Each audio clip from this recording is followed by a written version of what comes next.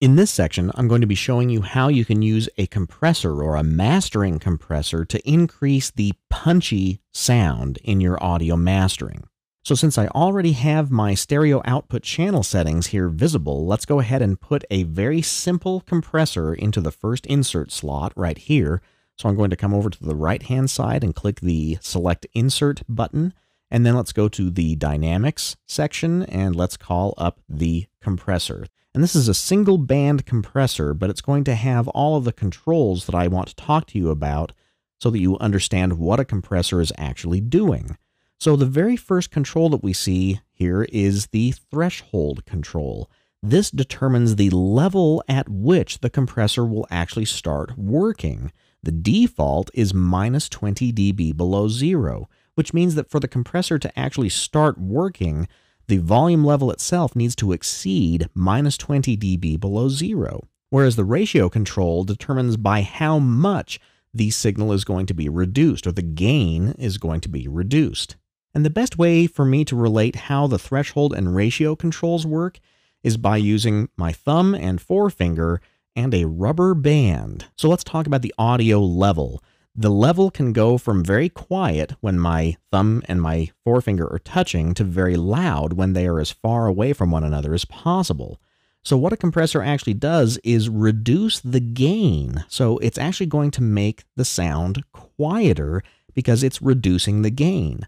So I'm going to use this rubber band to represent what the compressor does because the compressor is going to make it harder for the volume to go beyond where it would without the compressor. So if there's any slack on that rubber band, that represents the signal below the threshold. And as soon as that rubber band gets taut, that is the threshold. And then any level above that, where you actually start to stretch the rubber band, that's going to represent the ratio because you can see without the rubber band, your fingers will move very, very easily. But once that rubber band starts to tighten up, then it gets harder to move your fingers or increase the volume. So let's look at the compressor settings again. If we look at the threshold here, again, it's set at the default of minus 20 dB, so anything quieter than minus 20 dB is going to be like having a slacked rubber band rubber band isn't doing anything. But then, as soon as the level exceeds the threshold, that's when the rubber band starts to offer resistance. So that's where the audio gain is going to start to be reduced. And the ratio control is going to control by what degree the gain is reduced. For example, a ratio of 2 to 1, as we see here at 2.00 to 1, because the ratio is always a representation of a value to 1. It's a ratio, so here it's 2 to 1. That means that to get 1 dB of volume past the threshold, you'd have to exceed the threshold by 2 dB. That's kind of like having a rubber band that doesn't offer a lot of resistance, like if it was just a single rubber band between my fingers here then it wouldn't be too hard to get more volume because it's not offering as much resistance beyond the threshold. So a ratio of 2 to 1 is not offering a lot of compression. But if we were to increase the ratio, let's just double click here and change that ratio to 4 to 1. That's a lot like doubling up the rubber band. So now we're offering double the resistance. So if you double up that rubber band, now it's really hard to try and get more volume out of that compressor. So with a ratio of 4 to 1, that means that to get one more decibel of volume past the threshold, you're going to have to exceed the threshold by 4 dB. So how are the threshold and ratio related to one another in this graph over on the right-hand side of the compressor? Here's how it works. Down here in the lower left-hand corner, we can see a representation of infinity. This is as quiet as the signal will get. And then as the signal gets louder, it's going to go to this little dot, which is actually at the minus 20 dB mark in this little VU meter. And I'll show you how to read that in just a moment. But that is the threshold dot. That means that as soon as the signal gets past this point, it's going to start to have its gain reduced. So the somewhat flatter slope is a representation of the ratio. You can see that it starts to get clamped off. It doesn't climb freely all the way to the 0 dB point. Instead, it gets ramped off. So you can actually change your threshold and ratio controls right here in the graph as well. For example, if you wanted to offer more compression at a quieter volume level, you could just drag that threshold dot down, let's say another almost 10 dB, and then the ratio control, if you wanted a more subtle compression, let's change it to 3 to 1, so about right here. And now if you look at the controls themselves, you've got a threshold of minus 29.5 dB below zero and a ratio of 3 to 1. Now let me show you how you can use the VU meters over here on the graph to help you determine where the compression starts at the threshold and by what degree it's compressed, which is the ratio.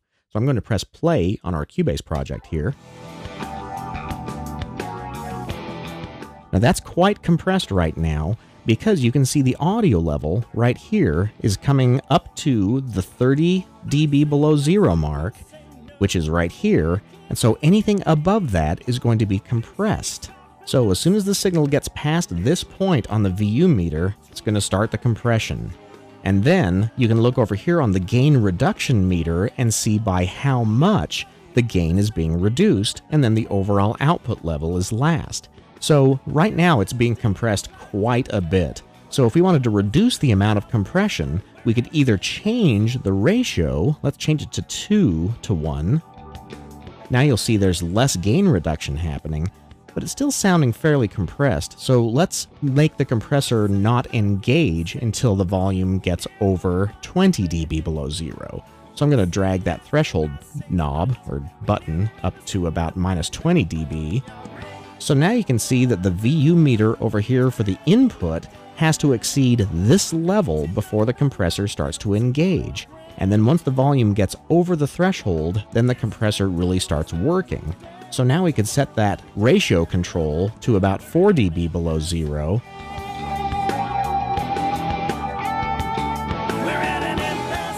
And we don't hear the compressor working quite so hard. Let me give you an idea of what a compressor sounds like when it works way too hard. I'm going to really lower that threshold control. You'll notice that the overall volume really changed quite a bit got quieter.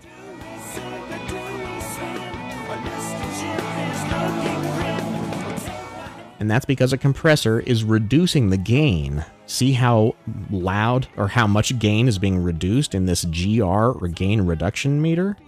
So normally the gain needs to be made up for. Normally the compressor is set to auto makeup, but if you're using a lot of compression, you may need to turn off the auto and be able to adjust the volume that's being removed back up to a listenable level.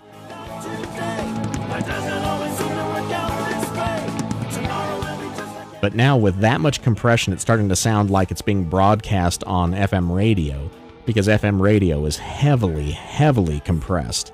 And so, with levels like that, you're getting an overcooked sound, an overcompressed sound.